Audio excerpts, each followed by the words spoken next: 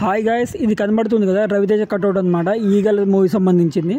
ఇది దేవి థియేటర్ ముందు అయితే ఉండే సంక్రాంతికి ముందు సో అప్పుడు తీసిందనమాట సారీ సంధ్య థియేటర్లో రిలీజ్ అవుతుందన్నమాట. సో గత సినిమా టైగర్ నాగేశ్వరరావు అయితే ఫట్ అయిపోయిందని చెప్పొచ్చు హిట్ అయితే కాలేదు. దానికి ముందు వచ్చిన ధమాకా అయితే బ్లాక్ బస్టర్ హిట్ అయింది. ధమాకా మూవీ రవితేజ గారి కెరీర్లోనే one of the biggest hit అయిపోయింది అనమాట సో వంద కోట్లు అయితే కొల్లగొట్టారు.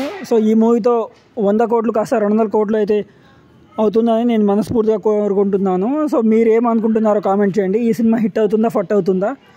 మ్యాక్సిమం ఈ సినిమా హిట్ అవ్వాలనే కోరుకుంటున్నాను.